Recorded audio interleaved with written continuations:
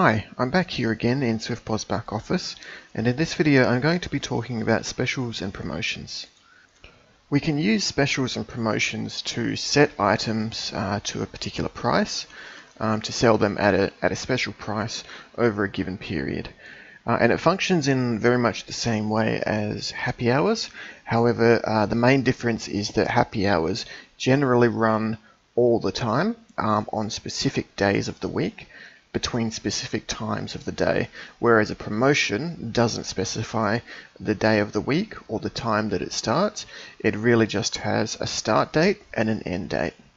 So I'm going to jump right in and start here in products and specials and promotions.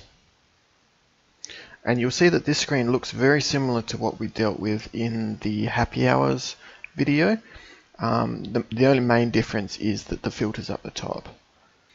If you want to open and edit a promotion, you can do that by clicking on open down the bottom and then selecting the promotion that you want to edit from the list here.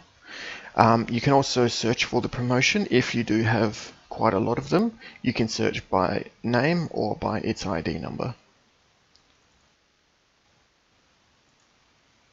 And then you can go ahead and add or remove items as needed or extend the end date or start date.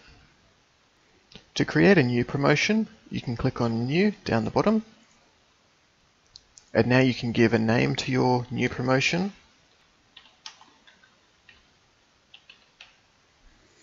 as well as assign a start date and an end date. Uh, by default, when you create a new promotion, the start date is always going to be tomorrow. Uh, so if you want to see that active immediately, you can choose today.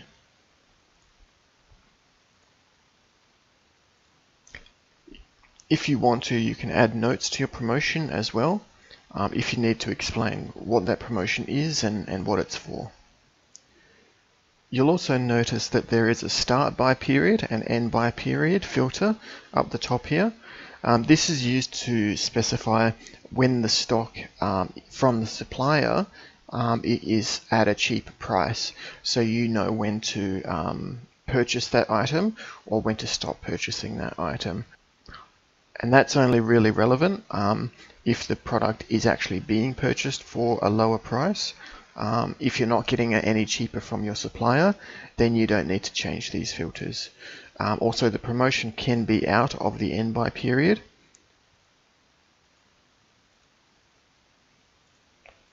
And that won't affect the promotion. It'll still be active and it will still work at the POS. Just like with the happy hours, you can specify a location or multiple locations if you want to. And once you've got your top filters set, you can start building a list. Uh, and just like we did in the happy hours, you can either do that individually by clicking on add row, clicking into the product code and pressing enter on your keyboard uh, to search for individual products. Or if you have um, a, a, large range of products that you want to add and you want to use the wizard to do that, you can do that as well. So if I click on the wizard, we have the same four tabs across the top as we did in the happy hours. And we can choose which price level we want to change, which price level we're getting the base price from for the promotion, the, the price that we'll be um, applying a formula to. And that can be either a price level or the cost price. We can use the, the groups and filters to um, choose a range of products to add. In this instance, I've just got packaged beer, which is a product group. Um, you could also use a family as well if you wanted to. And in the last tab is where we'll be setting a formula um, which will calculate our promotional price as well as configuring how we want the rounding to happen. In this case I'm using multiply by value and I'm using formula value 0.9. For the rounding I'm just using rounding up to the nearest 5 cents. I'm happy with those filters so I'm going to click finish and that's going to add those products to the grid here. Now if there was a product added from that wizard that I don't want to see in my promotion, I can remove that line quite easily just by highlighting the single line and clicking on delete row.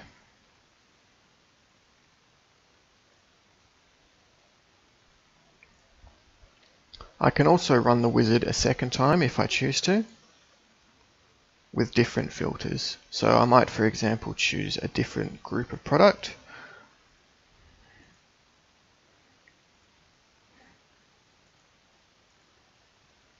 And for that group of product, I might even use a different kind of formula. So I might use subtract percentage. And I want to subtract 15%. I'll keep my rounding the same and click finish and that will add the next round of products to the grid with the appropriate prices calculated here which seems to be approximately 15% lower than what the normal price of that product is. Once I'm happy with my promotion I can save my changes, send an update to the terminal and those prices will now be active. Anyway, that's promotions in a nutshell. Um, quite easy to use, very similar to happy hours, and a very versatile way of automatically putting items on promotions at a future date um, and turning that promotion off at a particular end date without you having to actually interact with the system at the time. You can set these up weeks in advance if you want to and when the start date comes along it will tick over and that promotion will now be active. I hope that's been helpful. If there are any questions, go ahead and leave me a comment. Thanks for watching, and I'll catch you in the next video.